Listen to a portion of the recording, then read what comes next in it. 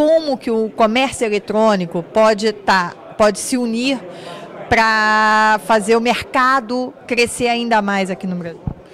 Um dos grandes problemas hoje da cadeia é a falta de comunicação entre os elos da cadeia. Então você tem de um lado as empresas de logística, você tem as empresas sistemas de back-office, você tem as plataformas, você tem os meios de pagamento, você tem as bandeiras, você tem os adquirentes. Cada um, até os últimos anos, estavam olhando o seu próprio mercado. E aí a gente não conseguia ter uma unidade de integração e pensar a cadeia como um todo. O papel do evento Emerging e da cadeia hoje é que os executivos tenham um tempo para pensar na eficiência do setor, para defender o setor. Então, é, como aumentar essa, essa eficiência? Hoje, na prática, é fazendo com que as pessoas venham à mesa e discutam efetivamente os problemas reais da escala. E todos são conhecidos. Então, basta discutir que as pessoas vão buscar soluções para isso. Quais são hoje os principais problemas do comércio eletrônico da visão da indústria, porque da visão do consumidor, a gente tem a questão da logística, da não entrega dos produtos, da demora, da troca de, de com produtos sendo entregues de maneira errada. Do ponto de vista da indústria, qual é hoje o, o calcanhar de Aquiles do comércio eletrônico? Ótima pergunta, é muito legal poder esclarecer isso. O problema final da entrega, ele é uma sopa de uma série de letras. E nessas letras estão várias competências. Por exemplo, uma coisa que é desconhecida do grande público é que quando você faz uma compra online, a sua aprovação ela depende de dois ou três agentes no meio disso e que pode demorar quatro horas até o dia seguinte. Então, quando você comprou num dia que para você, consumidor final, já está correndo o teu tempo de entrega, na verdade, para o varejista, ele só vai aprovar aquela transação no dia seguinte.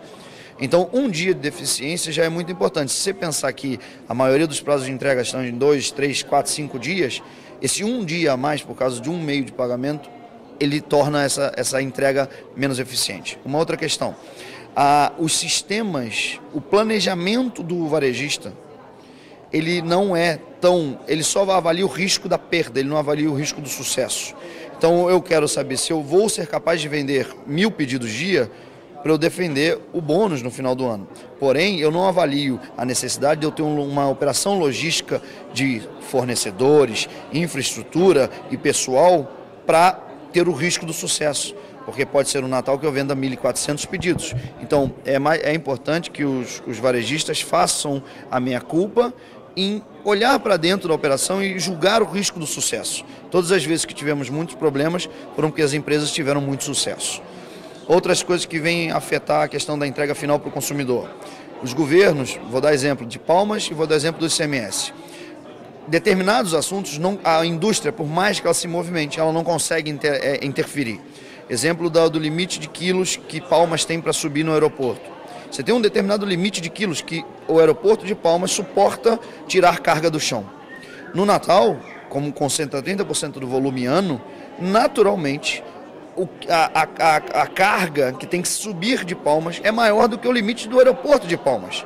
Então, se todo mundo acertar, vai atrasar, porque o aeroporto de Palmas não consegue levantar essa carga. E aí precisa sim do governo de botar mais 300 metros de pista e permitir que, que aviões maiores possam pousar e levantar com cargas maiores.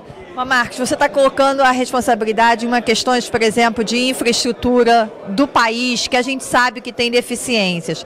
Você colocou, o empresário varejo precisa também repensar seu negócio. Porque é exatamente aí, quer dizer, como repensar o seu negócio e como punir esse varejista, porque ele também, vamos colocar, infraestrutura é deficiente, mas o varejo se vende sabendo que não vai entregar, também está cometendo uma fraude tão grande. Concordo. É, assim, a gente, a gente, no papel da indústria, só vai melhorar se a gente trouxer o público a reclamar. Esse é, eu sempre acreditei nisso. Ou seja, se você transparecer o dado para o público final, o público mesmo faz com que o varejo mude. Então, o, como, qual é o próximo dever de casa do varejista? Primeira questão, transparecer ipsilis literis o, o tracking code do, do, do evento de entrega. Ou seja, se eu tenho cinco dias para entregar, eu tenho dois dias para colocar na transportadora. Se eu já demorei quatro dias para colocar na transportadora, antes da, do atraso, eu já sei que vou atrasar. Então, por que não informar ao cliente final? Olha, eu errei, eu vou atrasar. O cliente hoje da web, ele é compreensivo, desde que ele seja informado. Então, assim, as pessoas, o varejista acha que o cliente não é compreensível e o, e o, e o cliente final acha que o varejista tem uma má logística. Na verdade, assim, se o varejista informar ao cliente, olha, eu errei, mas estou consertando dessa maneira, estou te mandando por outro meio, ele é compreensível, ele aceita aquilo ali. O que o, o, o cliente final hoje não aceita e não tem que aceitar é o desleixo é o cliente não ser atendido, não ter informação correta. Então, assim, o que, que o varejista hoje tem que fazer é aumentar a capacidade de software dele de entregar a informação correta na ponta final. Você tem exemplos de loja online Nokia, que investiu pesadamente nisso, ou seja, não é um sistema de saque simplesmente. Você tem uma área de atendimento, uma área de escala de relacionamento superior, uma área de qualidade, uma área de ouvidoria. Fez da loja online Nokia, por exemplo, o maior caso de atendimento hoje conhecido porque simplesmente investiram numa área onde, para outras áreas sem ser o comércio eletrônico, já é common sense, ou seja, todo mundo investe nisso. Você vê uma área, uma, uma área de telefonia, uma outra área de serviço, ela tem essa questão de qualidade, de ombudsman, de, de, de ouvidoria, muito à tona, e o comércio eletrônico ainda não. Então, assim, eu acho que o próximo passo para a cadeia são os varejistas. É, é, o, é, o, varejista se conscientizar que ele tem que investir num sistema de URA, é que ele tem que investir numa área de atendimento, porque o marketing cada vez vai ficar mais caro, a operação logística cada vez vai ficar mais caro. Onde estará a diferença de uma loja para outra? Na capacidade de atendimento. Isso foi assim nos Estados Unidos, foi assim na Europa e será assim no Brasil. Então, esse ano, eu acho, 2012, uma grande oportunidade para a indústria fazer o dever de casa, fora exigir que o governo se movimente, fora exigir que as, que as empresas logísticas se movimentem, é fazer o dever de casa de investir em sistemas de atendimento, onde pode transferir ao cliente final uma transparência clara de todas as etapas, desde o momento da inserção do pedido até o recebimento final. Hoje o comércio eletrônico está muito concentrado nas classes A e B. As classes C, D e E ainda não estão cooptadas pelo comércio eletrônico, mas são as classes que estão movimentando dinheiro e economia. Como o comércio eletrônico, o comércio eletrônico está preparado para atender a esse tipo de consumidor?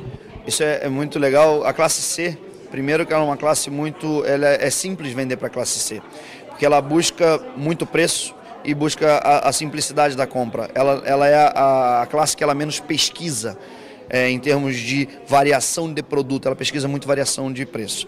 O comércio eletrônico atende e, e vem atendendo muito bem a classe C. Você falar que 80% das novas compras que foram feitas em 2011 são de classe C. Então, assim, o comércio eletrônico aprendeu a lidar com isso. Na classe D, ou baixa a, C, a C2 ou a D e a E, você começa a enfrentar problemas até de segurança de entrega. Então existem problemas a serem resolvidos com relação à segurança de entrega. Normalmente classes D e E moram em, em, em periferias que são perigosas, por exemplo, enviar um caminhão de celular da Motorola. Então determinados é, operadores logísticos não querem operar para essa classe. Não é por causa da classe, mas é o local que não provê segurança. Por quê? Hoje, o, o, o frete grátis é uma realidade no Brasil. O fato de você manter o frete grátis faz com que as empresas tenham que manter o menor custo operacional. Se os clientes aceitassem pagar R$ reais de taxa de conveniência, R$ reais de taxa de conveniência, as empresas poderiam investir em pagar um seguro maior para que essas empresas atendam áreas que não são atendidas hoje em dia. Então, é, é, é, um, é uma discussão ampla em relação a como entrar, como atender a classe C, D e E. Exemplo, a classe D e E ela não tem acesso ao cartão de crédito como a classe A, B e C tem. Então, como fazer hoje, praticamente 80% do comércio eletrônico roda em cartão de crédito, como atender a uma classe que não tem cartão de crédito? Ou seja, que outros meios de pagamento, exemplo, o Visa Eletro. No mundo real, você tem uma base de 50% dos cartões é de crédito e 50% de débito. É um número que eu acho que a Visa não divulga, mas é um número que o varejo entende como verdade. E na internet a gente só tem o cartão de crédito.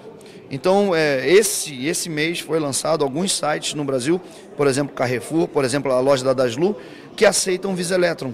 Ainda de uma forma muito tímida, mas é a entrada para pegar aquela classe D e E que não quer comprometer o crédito do cartão para questões de bem de consumo e sim para a saúde, deixa aquele, aquele valor reservado, essa pessoa possa pegar um boleto e pagar numa lotérica, pagar no seu Visa Electron e ter outra maneira de liquidar aquela compra que ele quer fazer. Isso faz com que a pessoa vá muito em pagar no dinheiro no varejo real. Então isso é um desafio que a gente também tem que enfrentar em 2012 e tentar melhorar essa capacidade de pagamento para a classe D e E.